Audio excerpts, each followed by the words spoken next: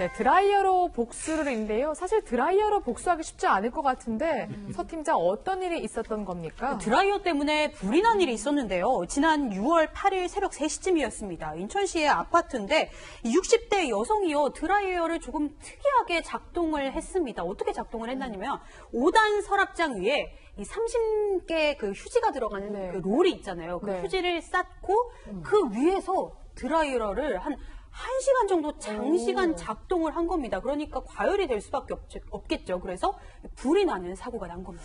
새벽 3시에 사실 드라이어 킬 일이 별로 없을 것 같은데 왜 이렇게 휴지까지 쌓아두면서 드라이어를 켰을까요? 왜저 그랬어요? 60대 여성이 머리 말려 한 건 아닙니다. 네. 위층에서 층간소음 때문에 문제가 많은데 아마 층간소음이 난 것 같아요. 그런데 그거를 뭐 관리실이라든지 아니면 만나서 해결하든지 아니면 했어야 되는데 본인이 복수를 했다고 맘먹은 것 같아요. 네. 그러다 보니까 그 위층하고 가까운 곳에 닿기 위해서 30도를 놓고 그 위에 드라이어를 놓으면 소리가 크지 않습니까? 들리라고 복수를 했는데 아니 저분은 빈대를 잡으려다가 초가상간 태우는 식으로 난 거예요. 그러니까 그러네요. 본인이 그 생각은 못 했는데 네. 그래서 헤어드라이기가 최근 거는 모르지만 옛날 것 같아요. 그러니까 과열돼서 불날 정도로 네. 너무나 복수를 심하게 하신 것 같아요. 근데 피해는 본인이 봤어요. 본인이 받은 거죠. 그렇죠. 근데 윗집에 피해가 안 갔는데 결국 재판에 가셨다고 하더라고요. 예. 어떤 혐의로 그럼 재판에 받는 거예요? 이게 이제 한 시간 네. 가량 켜뒀다는 거죠. 그래서 이제 실제로 불이 난 거예요. 근데 그거를 저희가 실수로 불을 내도 실화죄라는 게 있어요.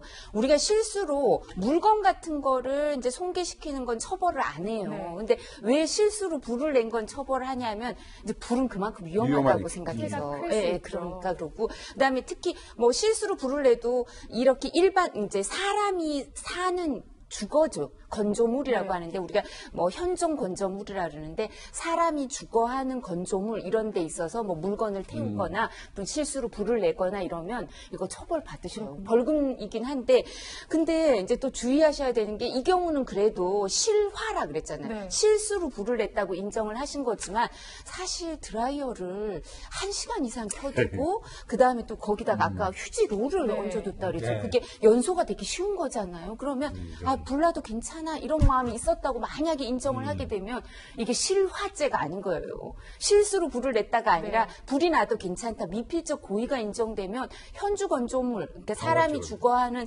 건조물에다가 불을 냈다 이러면 불이 나도 괜찮아 이런 마음으로 이런 걸 했다고 하면 방화죄로 처벌되면 훨씬 형이 세거든요. 크군요. 근데 이런 행동 하시면 안 돼요. 가해자도 이분이지만 피해자도 이분이잖아요. 그렇죠. 네. 그래도. 처벌을 아, 하는. 건가요? 이 현주 건조물 또 공룡이잖아요. 이게 아파트 아니에요? 아파트죠. 그러니까 이 불은 자기가 조절이 안 돼요. 그래서 음. 불이 나면 이웃집이나 윗집이나 아랫집에 막 연기도 나갈 수 있고 불도 이렇게 그럼요. 이게 계속 퍼져 나갈 수 있기 때문에요. 그리고 자기 집에 내 집인데 내 집에서 뭘 태우는 게 무슨 상관이야 이렇게 생각하시면 안 돼요. 그렇군요. 예. 네, 지금 인터넷 보면 뭐 층간소음은 방법이 없다. 그냥 복수하는 게 최고다라 그래서 아, 네. 인터넷에 복수 방법이 굉장히 많이 나와 있어요. 그거 올리는 분들 정말 잘못하는 거예요. 사회 그 갈등을 저 야, 유발시키고 야기시키는 분들이라고 저는 생각 들거든요.